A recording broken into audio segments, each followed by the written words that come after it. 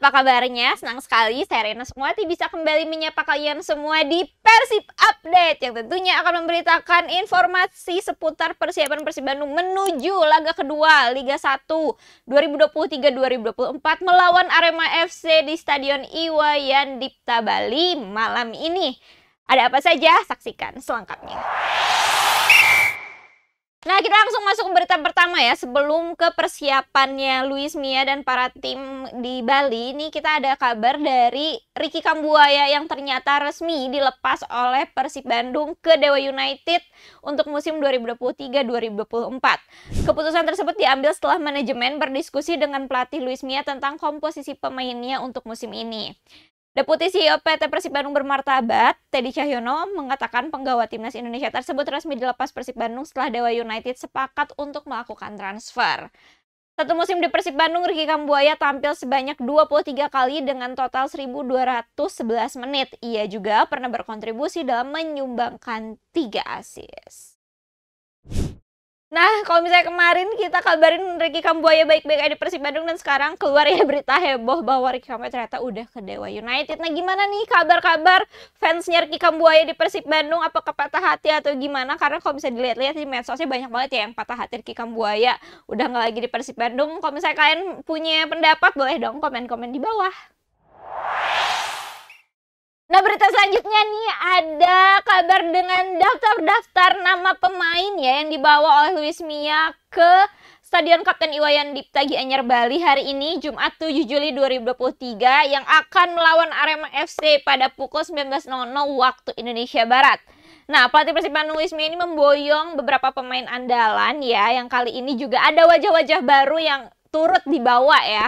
Nah, keinginan Bobotoh nih untuk melihat duet menara kembar yaitu back asing Alberto Rodriguez dan juga Nick Kuipers akan berpotensi besar terjadi karena nih Nick Kuipers yang sebelumnya absen melawan Madero United sekarang menjadi salah satu di antara uh, 21 pemain lainnya yang ikut ke Bali. Nah, menurut para bobotoh nih, Nick Kuipers dan juga Alberto Rodriguez memiliki uh, style-style permainan yang dianggap bisa menciptakan duet maut gitu kalau di lapangan. Nah, jadi udah keduanya ini udah diprediksi bakal berpenampilan apik saat nanti um, menjaga lini pertahanan Persib Bandung. Kira-kira bener gak ya? Kita bener-bener gak sabar untuk ngelihat Nick Kuipers dan juga Alberto Rodriguez.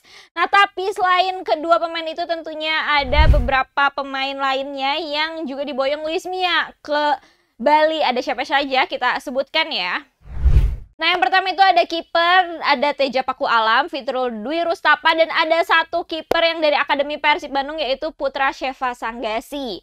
Lalu di lini pertahanan back ada Nick Kuipers tentunya, Iputu Gede, Alberto Rodriguez, Daisuke Sato, Edo Febriansah, Kakang Rudianto, Victor Ibonevo, dan juga Rezaldi Hehanusa. Di lini tengah di gelandang itu ada Mark Locke, Rahmat Irianto, Rian Kurnia, Beckham Putra, Robi Darwis, Deddy Kusnandar, Febri Haryadi, dan juga Fred Butuan. Nah kalau penyerang nih striker-striker udah template banget ya kayak itu udah CDE aja. Ciro Alves, David Da Silva, dan juga Ezra Walian. Nah Nah, itu tadi squad-squad yang dibawa sama Luis Mia ke Bali. Menurut kalian nih akan strategi seperti apa yang dipasang oleh Luis Mia? Apakah akan menjadi 4-3-3 seperti harapan Bobotoh atau kembali dengan formasi-formasi sebelumnya? Kalian kalau misalnya punya pendapat boleh komen di bawah dan juga jangan lupa kalau misalnya kalian punya prediksi skor nih lawan Arema FC malam ini juga bisa di komen di bawah ya. Nah itu tadi dia Bapak dan juga Tribuners informasi terkini seputar Persib Bandung yang sebentar lagi akan bertanding melawan Arema FC di Stadion Kapten Iwayan Dipta Bali. Jangan lupa untuk menyaksikan dan juga jangan lupa untuk mengupdate informasi terkini lainnya seputar Persib Bandung di tribunjabar.id, tribuncirebon.com dan juga tribunpriangan.com. Jangan lupa juga nih untuk like, comment, share, subscribe YouTube channel Tribun Jabar Video.